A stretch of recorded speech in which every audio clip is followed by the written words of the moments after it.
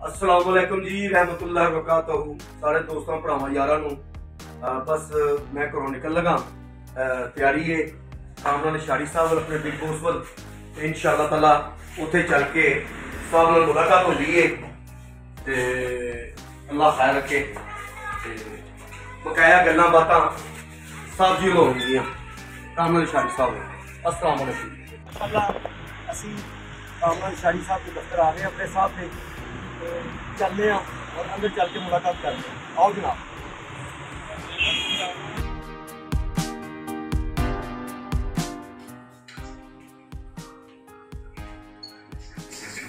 अस्सलाम वालेकुम सर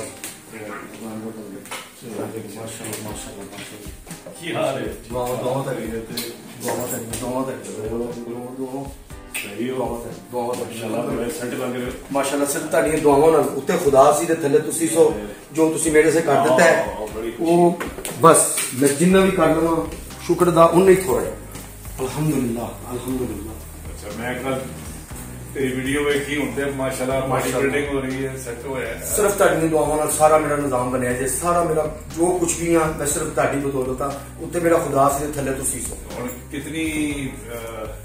ਅਹ, ਕਿਤਨੀ ਬਾਡੀ ਬਿਲਡਿੰਗ ਕਰ ਲੈਣੇ ਕਿ ਮਾਸ਼ਾਅੱਲਾ। ਜਿਮ ਵਿੱਚ ਕਿੰਨਾ ਟਾਈਮ ਗੁਜ਼ਾਰ ਅਹ ਸਾਡੀ ਮੈਂ ਮਾਸ਼ਾਅੱਲਾ ਤਕਰੀਬਨ ਕੋਈ 1 ਘੰਟਾ ਰੋਜ਼ ਕਲੱਬ ਦੇ ਗਏ ਹਾਂ। ਆਪਣੇ ਉੱਥੇ ਕਲੱਬ ਦੇ ਚ ਕੋਚ ਵੀ ਮੇਰੇ ਭਾਈ ਨੇ ਮੇਰੇ ਦੋਸਤ ਨੇ ਅੱਛਾ। ਉਹ ਮੈਨੂੰ 1 ਘੰਟਾ ਟ੍ਰੇਨਿੰਗ ਕਰਵਾਉਂਦੇ ਨੇ ਅੱਛਾ ਉਹ ਆਸਤਾ ਆਸਤਾ ਜਿਹੜੇ ਨਾ ਖਾਰੇ ਦੇ ਪਾਸੇ ਵੀ ਇਨਸ਼ਾਅੱਲਾ ਤਾਲਾ ਅਗਲੇ ਹਫਤੇ ਮੈਂ ਖਾਰੇ ਵੀ ਆ ਜਾਵਾਂਗਾ ਅੱਛਾ ਹਾਂ ਇਨਸ਼ਾਅੱਲਾ ਇਨਸ਼ਾਅੱਲਾ ਠੀਕ ਠੀਕ ਚਲੋ ਜੀ ਬੜਾ ਅੱਛਾ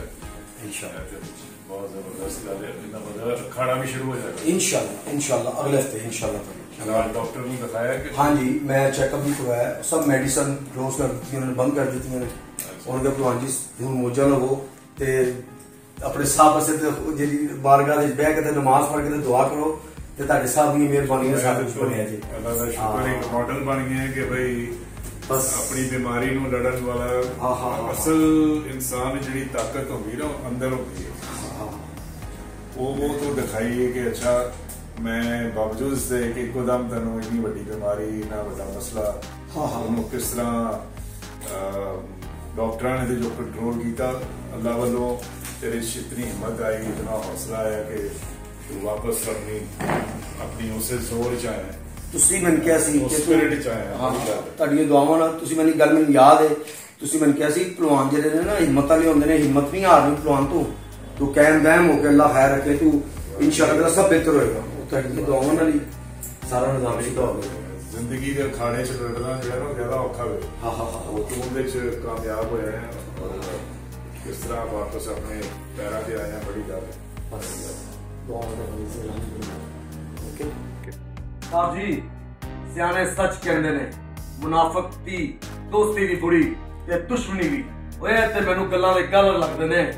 ਕਤਵਾਲ ਉਹ ਇਹ ਉਹਨਾਂ ਦਾ ਮੁਜਸਮਾ ਹੈ, ਕਤਵਾਲ। ਦਾ ਔਰ ਇਹ ਰੇਲ ਵਿੱਚ, ਮਾਸ਼ਾਅੱਲਾ ਸਾਡੇ ਕਤਵਾਲ ਸਾਹਿਬ, ਬੱਬਰ ਸ਼ੇਰ ਅੰਦਰੂਨ ਸ਼ਹਿਰ ਦੇ, ਜਿਹੜੇ ਕਹਿੰਦੇ ਨੇ, ਹੁਣ ਮੈਨੂੰ ਤਾਂ ਬਿਜ਼ੀ ਹੋ ਗਿਆ ਜੀ, ਮੈਨੂੰ ਤਾਂ ਟਾਈਮ ਨਹੀਂ ਦੁਨੀਆ ਸੈਲਫੀਆਂ ਲਾ ਲਾ ਕੇ ਮੈਨੂੰ ਭੁੰਬਲ ਪੇਚੀਆਂ 'ਚ ਪਾਤਾ ਹੈ ਜਨਾਬ ਇਹ ਕਤਵਾਲ ਸਾਹਿਬ ਨੇ ਅੱਲਾਹ ਨੇ ਜ਼ਿੰਦਗੀ ਦੇਵੇ ਤੰਦਰੁਸਤੀ ਦੇਵੇ ਸਿਹਤ ਦੇਵੇ ਆਪਣੇ ਬੱਚਿਆਂ ਦੇ ਸਲਾਮਤ ਰਹਿਣ ਮਾਸ਼ਾਅੱਲਾ ਜੀ ਮੇਰੇ ਭਾਈ ਨੇ ਹੈ ਮੁਹੰਮਦ ਆਰਫ ਨਾਂ ਹੈ ਸਾਡੇ ਵਾਲ ਸਿਟੀ ਦੇ ਪੁਰਾਣੇ ਗਾਰਡ ਨੇ ਔਰ ਕੁਝ ਲਾਤ ਬੰਦੇ ਨੇ ਜਿਹੜੇ ਆਂਦੇ ਨੇ ਸਭ ਨੂੰ ਵੈਲਕਮ ਕਰਦੇ ਨੇ I love you Arif sahib love you love you love you ਖੁਸ਼ ਰਹੋ ਤੇ ਬਾਦ ਰਹੋ ਅੱਲਾਹ ਤੁਹਾਨੂੰ ਸਲਾਮਤ ਰੱਖੇ ਬਹੁਤ ਸ਼ੁਕਰੀਆ ਬਹੁਤ ਸ਼ੁਕਰੀਆ ਅਸਲਾਮ ਵਾਲੇਕੁਮ ਪਾਕਿਸਤਾਨ ਜ਼ਿੰਦਾਬਾਦ ਅੱਛਾ, ਦੋਸਤੋ ਤੇ ਯਾਰੋ ਤੇ ਭਰਾਵੋ, ਸਲਾਮ ਜੀ।